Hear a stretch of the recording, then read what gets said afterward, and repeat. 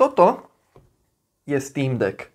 A dneska si odpovieme na otázku, je Steam Deck lepší ako herný notebook? Čaute, tu je Maťo a vítajte pri videjku, kde sa pozrieme spoločne na Steam Deck. Kto by náhodou nevedel, čo je Steam Deck, je to vlastne táto srandička. Je to herná konzola, niektorí by ste možno povedali, že je to Nintendo Switch, ale jediné, čo to má spoločné s Nintendo Switch je to, že obrazovku a ovládače máte spojené v jednom. V skutočnosti je to prenosný herný počítač s ovládačmi. Čo sa týka špecifikácií, tak tam akože dá sa trošku do toho zaboriť, ale také hlavné podstatné, čo je ten displej. Čo sa týka teda displeja, máte 7 palcový displej s rozlíšením 1280x800 pixelov Čiže v podstate je to HD displej, ale s pomerom strán 16 ku 10. A čo sa týka špecifikácií, tak je tam custom AMD procesor s integrovanou grafikou, je tam štvoriadrový procák. A čo sa týka rámky, tak je tam 16 GB RAM LPDDR5 a tých 16 GB je zdieľaných aj pre grafiku, aj pre rámku. Keď si vyberáte Steam Deck, tak máte na výber z troch možností, pričom všetky tri sú úplne rovnaké, jediný rozdiel je v úložisku. Čo sa týka konektivity, tak je veľmi jednoduchá. Máte jeden USB-C port, jeden jack a to, tuto dolu máte slot na micro SD kartu. Neviem, akú najviac podporuje, ale tuto konkrétnu, táto má 1 terabajt. Akože keď si vezmete, že v tomto je 1 terabajt, to je akože dosť úlet. By the way, tento Steam Deck není môj. Požičal mi ho Miguel, aka Something po anglicky. Keby vás zaujímalo, tak Miguel robí podcasty po anglicky, dokonca ja som bol u neho v podcaste, takže link na Miguela nájdete dole v popise. Čo všetko teda dokáže táto mašinka? Keďže je to herná konzola, tak pochopiteľne môžete na nej hrať hry. Jednoducho proste je to prenosná herná konzola, na ktorej sa môžete hrať takmer všetky hry, ktoré sa môžete hrať normálne na počítači. Prečo hovorím takmer? Jedna taká slabinka toho Steam Decku je, že tým, že defaultne nemáte zapojenú klávesnicu a myš, tak sa vám môže stať, že hra, ktorá nepodporuje ovládač, alebo prípadne, že nemôžete používať dotykovú obrazovku ako myšku, tak mm, máte celkom problém. Preto existuje v podstate že oficiálna databáza, ktorú vedie Valve, ktorú vedie Steam a v tej databáze máte vždy pri hre napísané, že či je tá hra hrateľná, či je že úplne ideálna na Steam Deck, alebo je naopak nehrateľná. Prípadne môže byť, že hra je ešte neoverená, hej, a tým pádom, no, musíte si zistiť sami, či vám to funguje alebo nie. Čo sa však týka toho listu podporovaných a nepodporovaných hier, tak je to také zmiešané, pretože niektoré hry sú také, že sú rejtnuté, že áno, dokážete ich spustiť, ale v skutočnosti môžete mať nejaký problém. Alebo napríklad Ori and the Will of the Wisps je hra, ktorá je označená, že na Steam Decku nefunguje, ale ja som ju zapol a hral som ju. A pritom oficiálne od Valve je povedané, že tá hra není podporovaná. Pri Orim napríklad bol problém, že vlastne keď som sa chcel prihlásiť do Microsoft účtu, tak som tam nedokázal písať. Tým pádom by som sa proste že neprihlásil a nemala by mi tá hra fungovať, lenže keď tú hru máte na Steam, tak proste využívate Steam savey a tým pádom tá hra úplne normálne funguje. Čiže berte to tak, že hry, ktoré sú označené zelenou fajkou, tak vám určite pôjdu a napríklad také cs je označené takýmto výkričníkom, hej, ta, takto je označené, že môžete mať nejaké problémy pri tejto hre. A tie problémy sú v podstate len tie, že v menu musíte použiť myš, čiže musíte si ťukať do obrazovky. Nebudú vám fungovať ani šipky, ani joystick. Čiže sú to len malé problémy, ale vo výsledku tú hru dokážete hrať aj keď neviem prečo by niekto hral dobrovoľne na tomto cs proti botom OK, ale že by som hral kompetitívne? To asi nie. Napriek tomu, že tá mašinka je taká malá ako je, tak skrýva v sebe dosť veľa výkonu a v podstate na nej dokážete hrať asi všetky hry, čo sa týka výkonu. Pustíte na tom niečo jednoduché, graficky nenáročné ako napríklad Stardew Valley, ale zahráte si aj niečo také, že stredne náročné ako napríklad Oriho, a keď ste masochisti, tak kľudne na tom pustíte aj Duma s vysokými detailami a pôjde to úplne v poriadku. Ako som už spomínal, tak som povedal, že síce je to herná konzola, ale je to viac počítač ako nejaká konzola ako napríklad Nintendo. Ale prečo? Hlavný rozdiel je v tom, že normálne na konzoli máte nejaký svoj uzavretý systém, hej, napríklad na, na Xboxe, na Playstatione alebo na Nintendo máte proste nejaký svoj uzavretý systém, ktorý má konzola. Steam Deck naopak používa Linux. Čiže ak ste si mysleli, že SteamOS alebo niečo akože áno, je to SteamOS, ale SteamOS je vlastne Linux. Pre tých z vás, čo vedia, tak vlastne SteamOS je vyvodený z Arch Linuxu. Tým, že je to na Linuxe, tak vlastne získavate plnohodnotný operačný systém a dokonca si môžete vybrať, či chcete Steam Deck využívať v gaming móde alebo v desktop móde. To znamená, že vy môžete proste, hej, zapnete si proste svoju konzolu, by the way, to je tiež jedna super vec, vidíte, za 3 sekundy sa mi to zaplo. Čiže môžete využívať, hej, takýto gaming mode.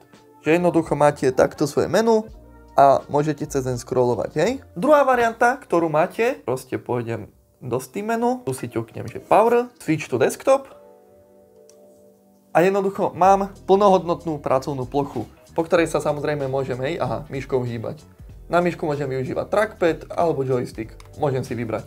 Prípadne aj samotnú dotykovú obrazovku. Hej, a teraz napríklad si poviem, že chcem ísť na, na internet, hej, tak normálne si otvorím Google Chrome, lebo ten je pre Linux a môžeme jednoducho si tu fičať, hej. Čiže v tomto smere sa to veľmi podobá na notebook a vy dokonca viete spraviť takú srandu, že si kúpite k tomu Steam Decku ešte dock a jednoducho do toho doku ho pichnete a bum, máte plnohodnotný desktop na monitore. A do toho si ju zapojíte klávesnicu, myšku a jednoducho fičíte. A potom jednoducho, keď sa chcete vrátiť naspäť do gaming módu, na ploche máte ikonku Return to Gaming Mode, tu otvoríte, hej,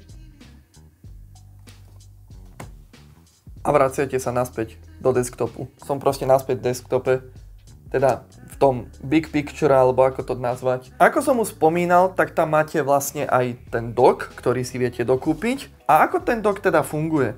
Funguje že úplne že primitívne, dokonca čo ma prekvapilo, že na ten dock si môžete stiahnuť firmware update. Keď som ho pripojil prvýkrát, tak to po mne pýtalo, že či ho chcem updatenúť mu firmware a že jasné, lebo to vždy chcete. Vždy chcete mať proste čo najnovšiu verziu, ktorá má najmenej chýb. A čo sa týka connectivity doku, tak jednoducho tam máte DisplayPort, HDMI, USB, nabíjanie cez USB-C a dokonca ešte RE45, takže si do toho pichnete aj LAN kábel, keby ste chceli mať nejakú že poriadnu mašinu. Čo sa však týka hrania cez dok, tak není to podľa mňa až úplne ideálne, pretože ten Steam Deck má nejaký svoj obmedzený výkon, áno, lebo do takto veľkého tela spracete iba určité množstvo výkonu za určitú sumu. A napríklad, keď som na tomto skúšal Doom Eternal hrať na doku, tak to sa nedá nazvať hrateľné.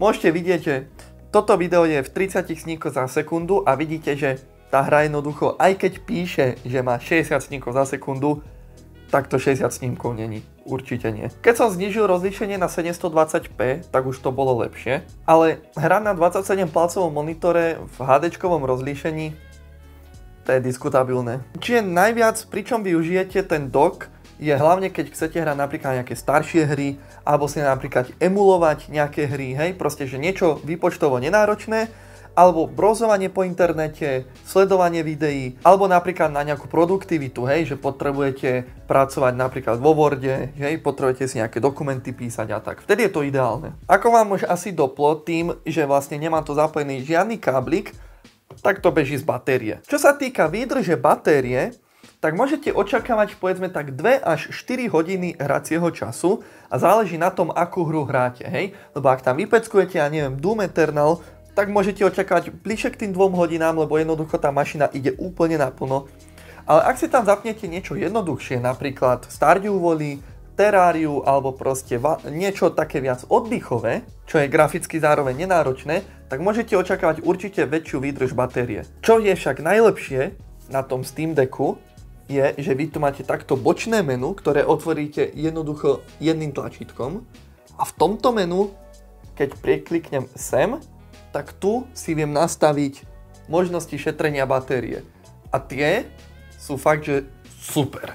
Jednoducho napríklad tuto mám, hej, že chcem mať refresh rate svojho Steam Decku od 60 do 40 Hz.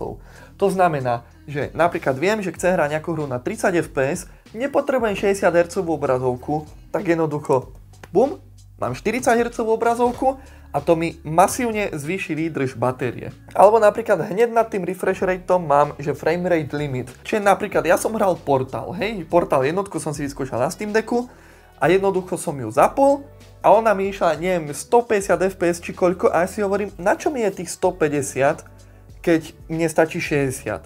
Tak som si zapol frame rate limit na 60 fps a tým pádom mi vydržá dlhšie baterka. Ďalej tu viem zapnúť také srandičky, napríklad viem vypnúť FreeSync, alebo viem zapnúť half rate shading, Viem dokonca obmedziť, že koľko výkonu môže ísť do procesora grafickej karty, takže tým pádom aj na tom viete ušetriť. Alebo si viete napríklad zapnúť scalovací filter na FSR, to znamená, že jednoducho budete upscalovať z nižšieho rozlíšenia na vyššie a zasa tým, že vykreslete menšie rozlíšenie, ušetríte batériu. Čiže možností na šetrenie batérie je tu viac než dosť. Čo sa týka nabíjania Steam Decku, tak normálna nabíjačka do Steam Decku je 45W, hej, to znamená, že 15V 3A čo je ale super, vy to dokážete nabíjať aj slabšou nabíjačkou ako táto. Napríklad ja som si zobral svoju nabíjačku k S21 a jednoducho pichol som nabíjačku od telefónu do Steam Decku a nabíjalo ho. Rovnako mám túto Anker nabíjačku, ktorá má myslím, že 30 W najviac a keď ju zapojím, bum, a mne napíše, že slow charger. Hej, proste takto mi napíše slow charger, a jednoducho, že proste nabíja sa pomalšie, ale nabíja sa. Ďalšia vec, na ktorú sa ešte musíme pozrieť, je ergonomika. Že v podstate ako sa ten Steam Deck drží v ruke, ako sa ovláda. Každý drží Steam Deck alebo aj herný ovládač proste inak. Ja ho proste držím takto, že maličky nepoužívam, Niektorí naopak držia takto, že maličky by použili na tieto tlačítka. Čo sa týka mňa, tak mne Steam Deck že úplne vyhovuje do rúk, jednoducho na všetko dosiahnem úplne bez problémov, hej, že takto držím na toto a dosiahnem úplne na všetko, čo potrebujem. Zadné tlačítka, čo sú tu, viete ich používať, viete si ich namapovať, ako vy chcete. Ja ich nepoužívam. V podstate aj, aj keď bola nejaká hra, kde tie tlačítka fungovali, tak ja som ich neťukal, ja som ich nepoužíval proste. Máte aj ovládanie hlasitosti, hej, hore, dole, a tuto máte vypínacie tlačítko. Napríklad Dušan hovoril, hej, že on trošku miestami mal problém, lebo že on má malé ruky. Ja vám neviem povedať, ja malé ruky nemám, ale ja čo mám veľké ruky, tak mne ten Steam Deck úplne že perfektne sedí do rúk. Čo sa týka toho držania v ruke, tak má nejakú váhu ten Steam Deck, hej. Ak nie ste zvyknutí, tak po nejakej dobe by vás určite boleli ruky. Napríklad keď ležíte, hej, že ľahnete si do postele, takto ležíte a takto ste držali ten Steam Deck, tak vás za chvíľu začnú bolieť ruky, ak nie ste vytrenovaní. Ale keď si ich viete, že opreť, tak ja by si myslím, že určite ten nejaký dvojhodinový session by som určite vydržal. V podstate viac vám tá baterka ani nevydrží. Nie je to také, že by ste sedeli za tým 10 hodín veľmi, iba ak by ste ho mali napojený v elektrike. A na také, že kratšie sessiony, povedzme, že do nejakých 2-3 hodiniek, nie je problém podľa mňa udržať ho v ruke. Čo sa týka ovládania tých hier, tak Vyzerá to, že máte len joysticky, ale není to jediná možnosť, ako môžete tie hry ovládať. Máte až 3, možno by som povedal, že 4 možnosti, ako ovládať Steam Deck. Prvá, primárna, čo najviac ľudí používa, hej, sú tieto páčky, samozrejme. Druhá, máte túto trackpady, ktoré mimochodom majú haptic feedback a je úplne že úžasný. Vy napríklad, keď spravíte toto, tak vy cítite takú vibráciu, ktorá začne a postupne odoznieva. Že je to úplne, úplne super.